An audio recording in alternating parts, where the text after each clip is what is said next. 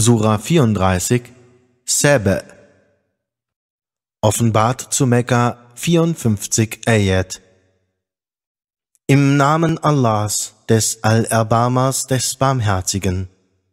Alles Lob gebührt Allah, dessen ist, was in den Himmeln und was auf Erden ist. Und sein ist alles Lob im Jenseits und er ist der Allweise, der Allkundige. Er weiß, was in die Erde eingeht und was aus ihr hervorkommt, und was vom Himmel herniedersteigt und was zu ihm aufsteigt, und er ist der Barmherzige, der Allverzeihende.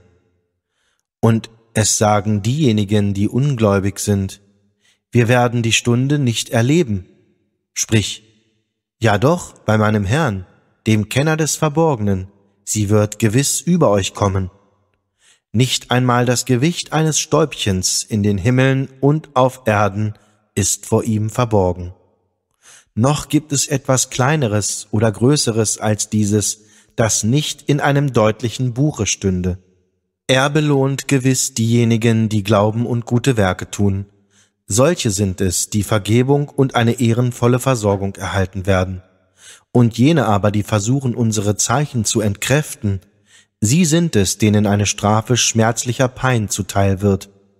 Und die, denen das Wissen gegeben wurde, sehen das, das, was dir von deinem Herrn offenbart worden ist, die Wahrheit ist und zum Weg des Allmächtigen, des Preiswürdigen leitet. Und jene, die ungläubig sind, sagen, sollen wir euch einen Mann zeigen, der euch berichtet, ihr würdet, wenn ihr ganz in Stücke zerfallen seid, dann wieder als neue Schöpfung auferstehen? Hat er eine Lüge gegen Allah ersonnen oder ist er ein vom Wahn Besessener? Nein, nicht er, sondern jene, die nicht an das Jenseits glauben, befinden sich in der Pein und im weitgegangenen Irrtum. Haben sie denn nicht gesehen, was vom Himmel und von der Erde vor ihnen und was hinter ihnen ist? Wenn wir wollten, könnten wir sie in der Erde versinken lassen oder auf sie Brocken vom Himmel fallen lassen. Hierin liegt wahrlich ein Zeichen für jeden Diener, der sich bekehrt. Und wahrlich, wir verliehen David unsere Huld. O ihr Berge, lobpreist mit ihm Allah, und auch ihr Vögel lobpreist ihn. Und schmiegsam machten wir ihm das Eisen. Und wir sprachen, verfertige lange Panzerhemden und füge die Maschen des Kettenwerks fein ineinander und verrichtet gute Taten, denn ich sehe alles, was ihr tut.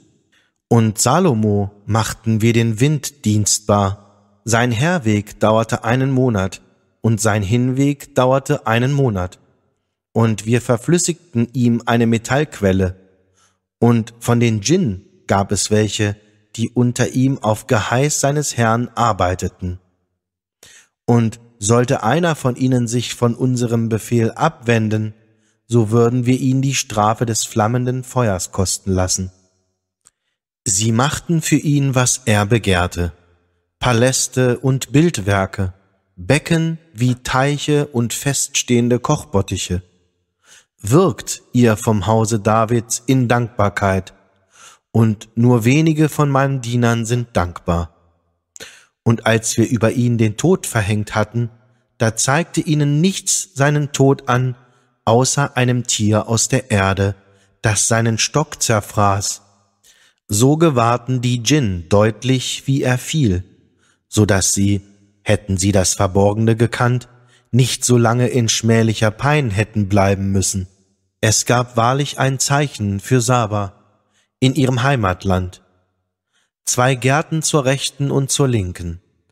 Esst von den Gaben eures Herrn und seid ihm dankbar. Euer ist eine Stadt, die gut ist, und ein Herr, der allverzeihend ist. Jedoch sie kehrten sich ab, da sandten wir eine reißende Flut gegen sie, und wir gaben ihnen anstelle ihrer Gärten zwei Gärten mit bitterer Frucht und Tamarisken und wenigen Lotusblumen. Solches gaben wir ihnen zum Lohn für ihre Undankbarkeit. und so belohnen wir keinen anderen als den Undankbaren. Und wir setzten zwischen sie und die Städte, die wir gesegnet hatten, andere hochragende Städte, und wir erleichterten das Reisen zwischen ihnen. Reist zwischen ihnen bei Tag und Nacht in Sicherheit umher. Jedoch sie sagten, unser Herr vergrößere die Entfernung zwischen unseren Reisezielen, und sie sündigten gegen sich selber. So machten wir sie zu abschreckenden Geschichten für die Nachfahren, und wir ließen sie in Stücke zerfallen. Hierin sind wahrlich Zeichen für jeden geduldigen, dankbaren. Und Iblis bewies wahrlich die Richtigkeit seiner Meinung von ihnen, und sie folgten ihm mit Ausnahme einer Schar von Gläubigen. Und er hatte keine Macht über sie. Allein wir wollten denjenigen, der ans Jenseits glaubt, vor dem auszeichnen, der Zweifel darüber hegte, und dein Herr wacht über alle Dinge. Sprich, ruft doch jene an, die ihr vermutet, neben Allah. Sie haben nicht einmal über das Gewicht eines Stäubchens in den Himmeln und auf Erden Macht, noch haben sie einen Anteil an beiden, noch hat er einen Helfer unter ihnen. Auch nützt bei ihm keine Fürsprache, außer für den, bei dem er es erlaubt, so dass, wenn der Schrecken aus ihren Seelen gewichen ist und sie sagen, was hat euer Herr gesprochen? Sie sagen werden, die Wahrheit. Und er ist der Erhabene, der Große. Sprich, wer gibt euch Nahrung von den Himmeln und der Erde? Sprich Allah. Entweder wir sind oder ihr seid auf dem rechten Weg oder in offenkundigem Irrtum. Sprich, ihr sollt nicht nach unseren Sünden befragt werden, noch werden wir nach dem, was ihr tut, befragt werden. Sprich, unser Herr wird uns alle zusammenbringen, dann wird er zwischen uns in Gerechtigkeit richten. Und er ist der beste Richter, der Allwissende. Sprich, zeigt mir jene, die ihr ihm als Götter zur Seite gesetzt habt. Nichts? Er aber ist Allah, der Allmächtige, der Allweise. Und wir haben dich nur als Bringer froher Botschaft und Warner für alle Menschen entsandt. Jedoch die meisten Menschen wissen es nicht. Und sie sagen, wann wird dieses Versprechen erfüllt, wenn ihr wahrhaftig seid? Sprich, euch ist die Frist eines Tages festgesetzt, hinter der ihr weder eine Stunde zurückbleiben, noch ihr vorausgehen könnt. Und jene, die ungläubig sind, sagen, wir wollen keineswegs an diesen Koran glauben, noch an das, was vor ihm gewesen ist.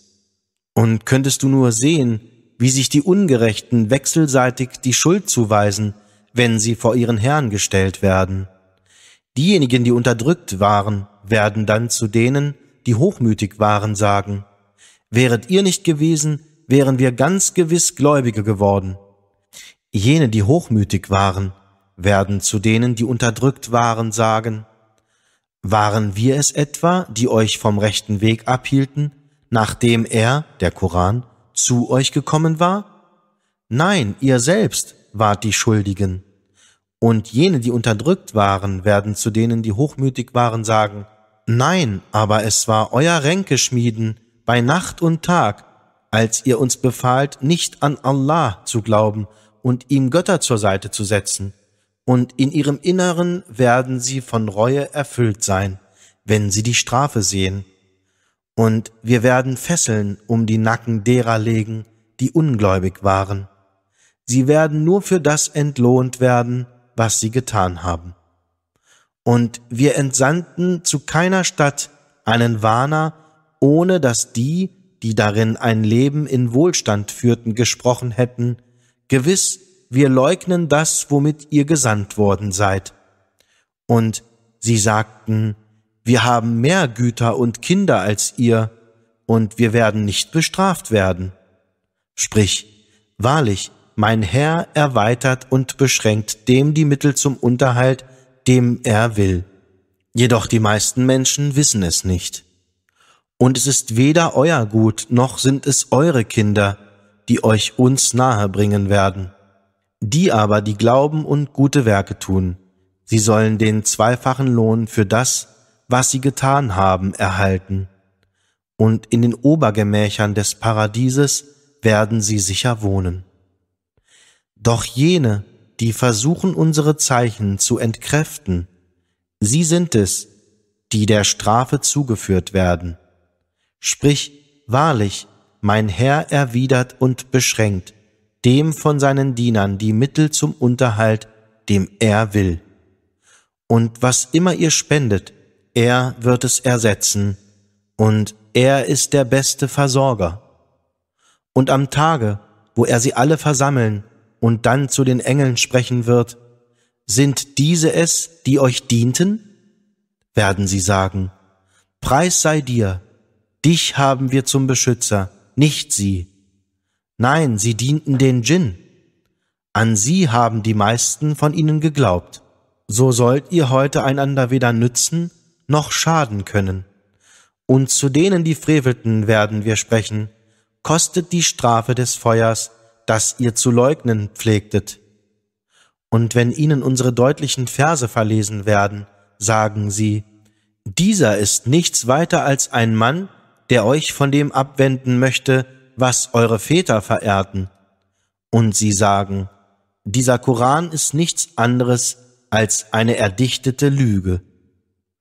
Und diejenigen, die ungläubig sind, sagen von der Wahrheit, wenn sie zu ihnen kommt, das ist nichts als eine offenkundige Zauberei.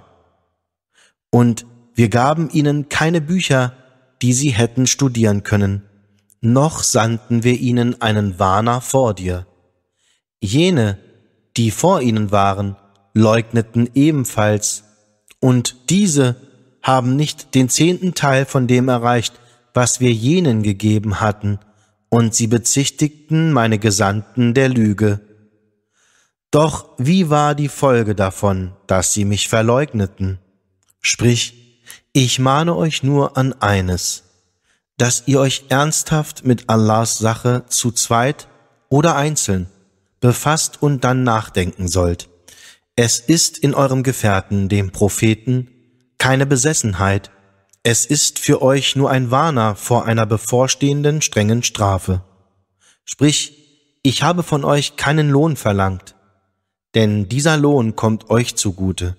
Mein Lohn ist allein bei Allah, und er ist der Zeuge aller Dinge.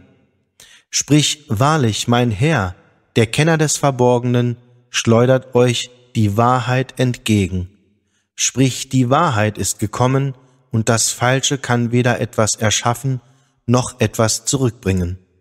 Sprich, wenn ich irre, so irre nur ich selbst.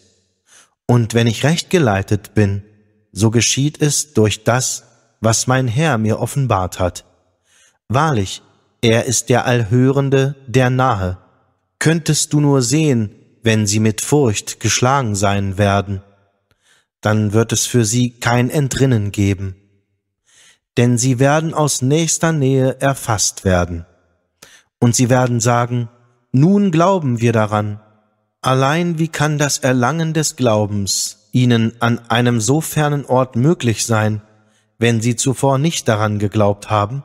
Und sie äußern Mutmaßungen von einem fernen Ort aus und ein Abgrund ist zwischen ihnen und ihren Begierden aufgerissen worden, wie es ihresgleichen schon zuvor widerfuhr.